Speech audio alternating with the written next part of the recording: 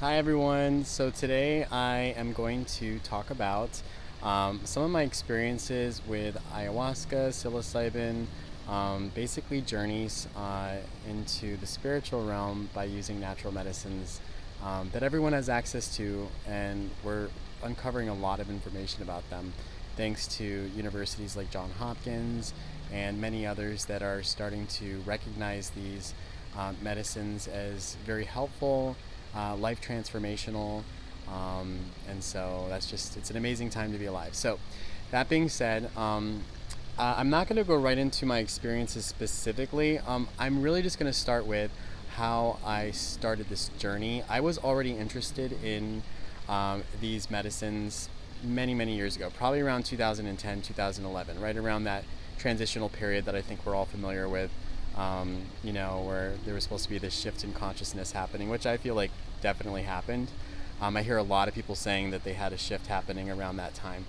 So anyway, um, but I never actually did anything. Uh, I was just aware of it and I researched it and stuff. It wasn't until 2019 or something like that, um, because I was informed by my father while I was teaching essential oil classes in San Diego and Los Angeles, living in um, Arizona, that my mom wasn't well. She was having some heart issues, onset of dementia, um, blood pressure issues, um, low blood pressure, which made it harder to find more information about that. Most people are dealing with high blood pressure.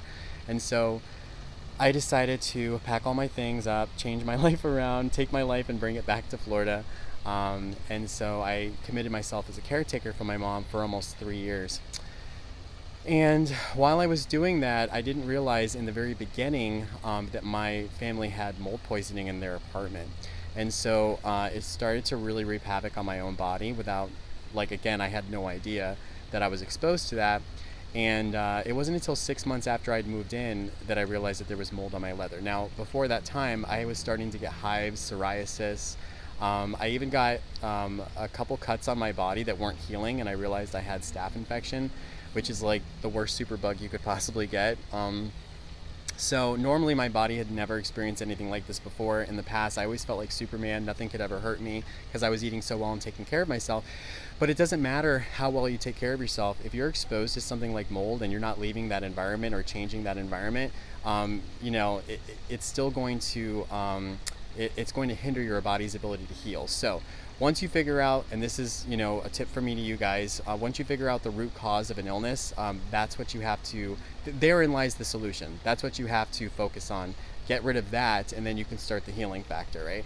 Um, so anyway, once I did, we figured this out, um, we moved out of that apartment and then my body started to heal. I never took a synthetic drug, never took antibiotics. I'm not telling you guys not to do that, but in my research and when I was going into groups specifically about these illnesses and infections, I noticed a lot of people were taking antibiotics and it would go away and then it would come back chronic, and I didn't want to be one of those people, so I wanted to heal naturally, and I did.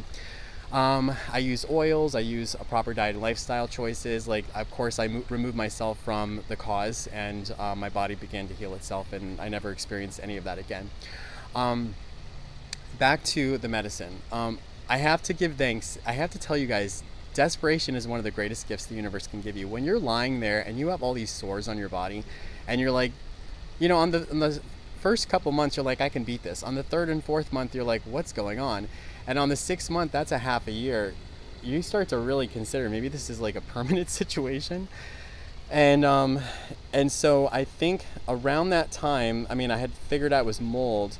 Um, I was I, I was like digging very deep in these Facebook groups, and I was trying to find out had anyone healed themselves naturally. And I someone I had come across said that they had reversed um, uh, staph infection by using Kambo.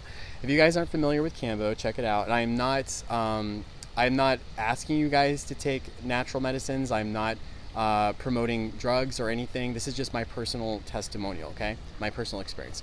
But anyway, um, so I I coincidentally, I don't think so. I don't believe in coincidences. This is also a, a testimonial of spiritual growth and upgrade and um, divine synchronicities, you guys. So, two weeks prior to learning about Kambo through Facebook, um, I I was teaching at um, essential oil classes at a local spiritual uh, community, like a facility that I was uh, working at. And there was a woman that came in that was working with the medicines like Kambo. She was connected to a community that did ayahuasca and bufo and that kind of thing. And I took her number, but I never really, I, I would have never called or texted her, although I was interested. It just never really computed or stuck in my mind until I was desperate. And as soon as I saw the word Kambo, I'm like, wait, just two weeks ago, I met this lady who introduced me to Kambo or the idea of doing Kambo. And I, I contacted her right away. Oh, right away, I texted her and uh, it was like three hundred dollars for a three day um, uh, journey, and uh, or if you can call it that, it's, I guess you would call it a session. And I did it. Uh, like she took me the next day. She was amazing. Her name's Natalie, and uh, I did it uh, on my hand and I did it on my shoulders. If you guys don't know what Kambo is, basically um, it's a resin that comes from a frog. And I know this sounds absolutely crazy, but this is stuff that they do in the rainforest, and it is really incredible. So just look it up. I'm not telling you again to do this, but apparently there's something about peptides and it helps your body heal itself. It's more like a natural antibiotic or vaccine type thing. Um, I want to be really careful with what I say. That's the annoying part about FDA compliance. Probably should change my verbiage around, around that, but basically the whole point is in tandem with moving out of that apartment, my body was able to heal itself a lot faster. I was able to heal for the most part within my house, even though there was mold in there, because I did the Kambo. So um, after the Kambo, it took about a week or two my body started to heal itself, and then we got rid of the mold by moving out of the apartment, and then my body was healed. The interesting part about this, you guys, is that by doing that, it plugged me into a community of shamans and facilitators for these medicines because she invited me to join her on you know different ceremonies regarding bufo and ayahuasca. So there's so many other divine synchronicities that I'm not even putting in here, but I'll probably write a blog about it it's just incredible. If you are interested in knowing more about your spiritual growth or developing spiritually or finding enlightenment and more peace and love in your life, ask for it because your spirit guides, like they're everywhere. They're just waiting for you to ask for help. And then these things start to drop in your lap, and then it's your responsibility to take advantage of it. There's a law of attraction, there's a law of action too. These are just laws of the universe. If you don't take action, not a lot's going to happen. So I took action, but the universe had to light a fire under my butt to make it happen. It's like, wasn't going to do it, even though the universe dropped down the opportunity, and then all of a sudden I had no choice, quote unquote, and then I just did it. Um, and it changed my life because I am so much more in a better place than I ever have been in my whole life physically, but also mentally and spiritually because I feel like I was always at peak health when it came to physical. I was always in nutrition and detox and that kind of thing. If you go back through my videos on YouTube, you'll notice I focus a lot on that, but I never really focused as much on meditation. And that's another thing. I went to Vipassana prior to all this stuff happening to me, probably a few months prior. I believe Vipassana is a 10 day meditation retreat. You meditate for 10 hours a day. You have the vow of silence. You can't talk to anyone the entire time. Um, you eat what they give you, which was, I believe, vegan organic food. Um, they take away all your digital devices. You basically live like a monk. It's a very extreme situation. You don't have to continue that lifestyle for the rest of your life, but it, it really puts you into a place where you're able to meditate and just experience states of bliss. Whereas prior to that, I wasn't able to do that. So it does take 21 days statistically to instill values, principles, and habits in the mind so it becomes habitual. Even a 10 day period of time is very, very helpful. So um, I believe that meditation retreat did something to change the trajectory of my overall life from a spiritual perspective because again it happened prior to me experiencing the mold poisoning and the bufo and the ceremonies and everything that got me to a place that I'm at now. And I want to mention this to you guys, and I probably should have put this in the very beginning just to capture people's attention. But I went from $35,000 a year to over six figures within a six to seven, eight month period of time. Around this time, I was not only developing myself spiritually, I was also increasing my frequency from a scarcity mentality to a state of abundance. So I was changing my whole relationship to money as well and that totally transformed my life. So physically, mentally, spiritually, and financially, my whole life changed within about a year.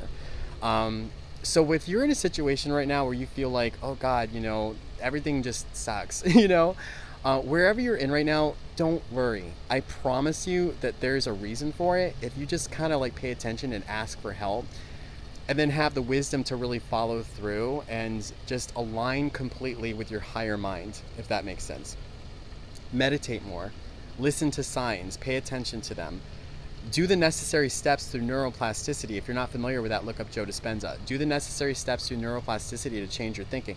Your brain is your hard drive, the mind is the interface, and the soul connects everything. So if this is all jumbled with trauma and guilt and shame and blocks, it's going to keep you from succeeding the best life that you came here to live. Your true purpose could be blocked and hindered, but it's your responsibility to alleviate all of that. And there's techniques that you can do, but you have to dig deeper to figure this stuff out. Um, I'm here to help. You know, if you guys have any questions, I typically focus on detox, stress management, uh, nutrition, and essential oils. Um, but I'm getting much more into spirituality and teaching about that too, because I feel like I have such a huge, like, um, story to tell that is so powerful that I plan to do more of it.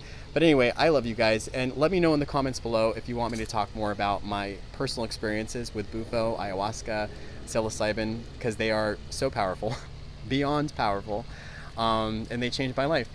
All right, I love you guys. Have a beautiful day, and I look forward to talking to you soon. Okay, bye.